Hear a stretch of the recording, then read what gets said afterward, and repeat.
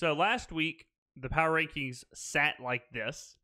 We started with the Chiefs, then we went to the Seahawks, then the Packers, then the Ravens, then the Bills, then the Patriots, then the Steelers, Titans, Rams, Niners. Now let's look at the top end of our of our power rankings here. Chiefs, best team in the NFL. There's no reason for them to move. Seahawks, yep, second best team in the NFL, no reason to move. Packers took care of business as well. So the the top three certainly stays. Baltimore takes care of business.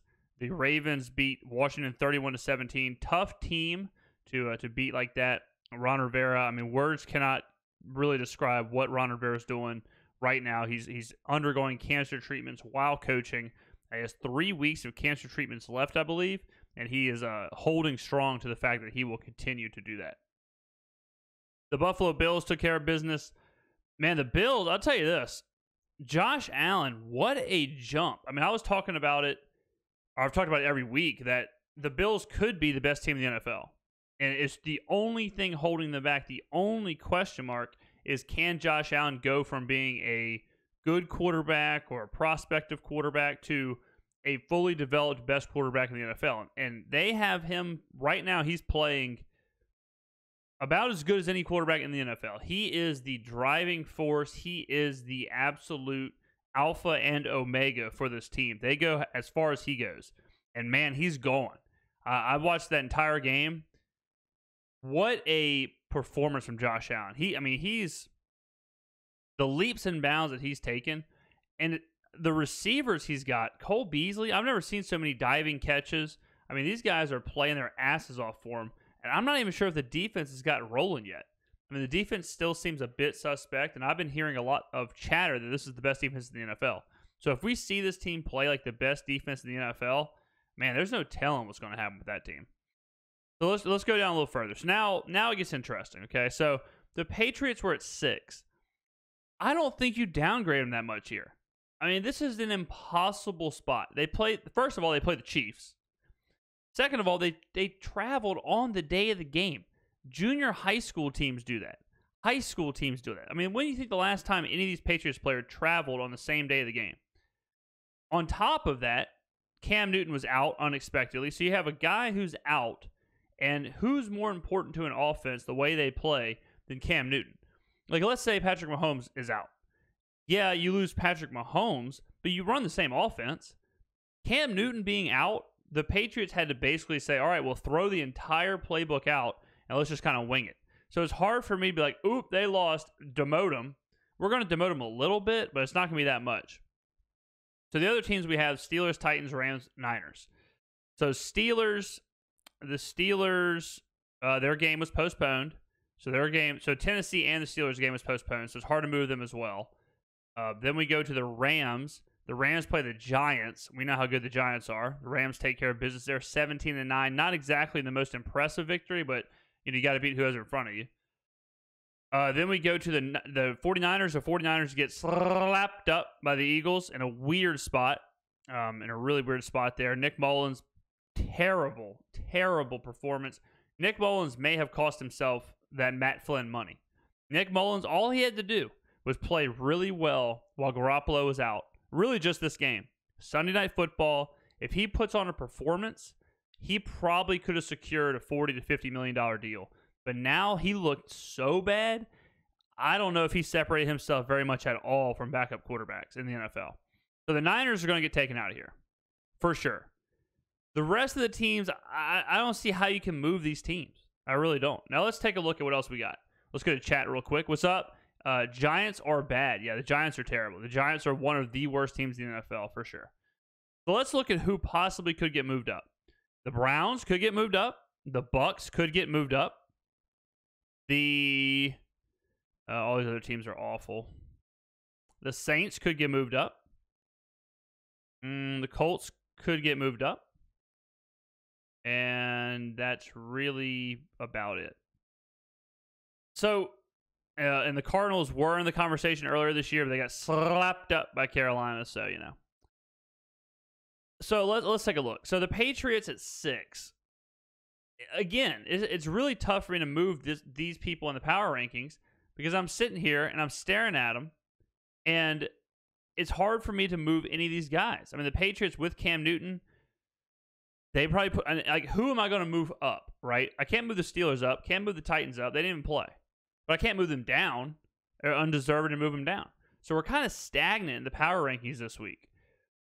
Now the question is, do I move up the Saints? Do I move up the Bucks? Do I move up the Browns? All are relatively deserving. The biggest drop so far is from the Saints.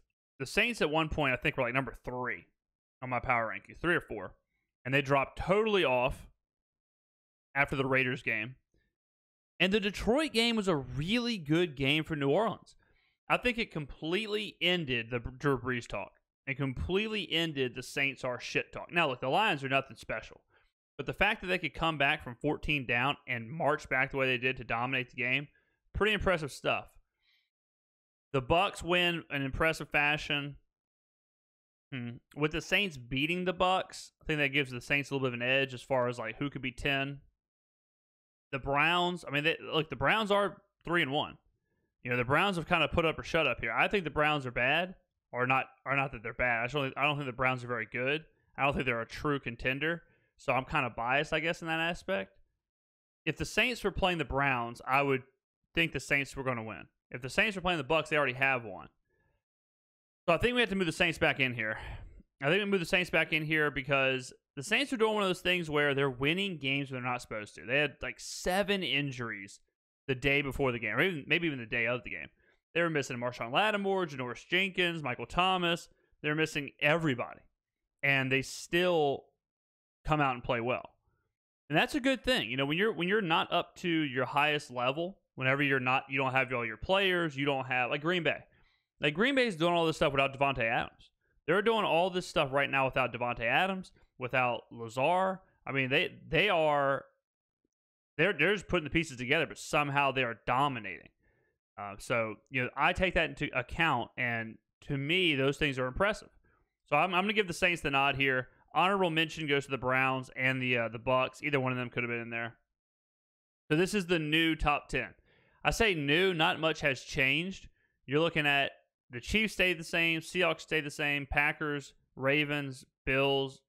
So everything changed to stay the same except for the Saints. And six, seven, eight really didn't play, in my opinion.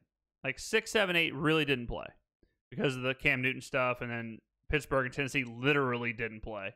The Rams win, but an unconvincing win. So should they be bumped up? Nah. Saints gets a good win to get back into the top 10, but is it good enough of a win to get them moved to like seven? I don't know about that. I mean, Detroit is pretty bad. So this is uh this is the new top 10 we'll be rolling with into week five. Going to chat here. Does Cam Newton have the virus? Yeah, Cam Newton tested positive for COVID, and that's why he had to sit out. So he he uh he was out, but I think he's only supposed to miss one game. So he should be playing the next game. But yeah, he he does have the virus. Uh, New England they sip they separated like travel between all the people who could have come in contact with Cam Newton and then the people who didn't. So they're trying to quarantine. Uh, Tennessee has not had any more virus uh, positives since they first got tested. Minnesota obviously doesn't have any. So so it's all it's all kind of seemingly under control here uh, as far as the NFL goes. So hopefully that'll put a kibosh on it. Hopefully that'll be it. The Saints had a positive test before their game, and it was kind of concerning. But it turns out it was a, it was a false positive, so it was, it was actually a negative test. So there was word that the Saints may have may have had a corona outbreak, but it looks like that is not the case. So so that's good for there. So hopefully the season gets underway. I'm really kind of surprised at how the NFL seems to not to not have a contingency plan at all for the virus. You would think that they would have built in like two weeks at the end of the season to put these games because the the notion that we're not going to have hey, thank you very much Moneyball for the sub. Thank you very much Moneyball. I appreciate that sub, man. Thank you, thank you, thank you very very much. We're subscribed for five months. Amazing scenes. But the idea, this notion that the NFL is not going to have any canceled games the entire year. I think it's just crazy. So why would you not have bookended the season with like one or two weeks where you can put these extra games in and not worry about delaying the playoffs, not worry about delaying the Super Bowl, not not worrying about how you're going to mix in the bye weeks and all that stuff. So, you know, I trust the NFL can get it can get it handled, even though they've been absolutely terrible at handling literally everything else that's happened in the past decade. But we'll see how that goes. So there are your there are your power rankings, ladies and gentlemen.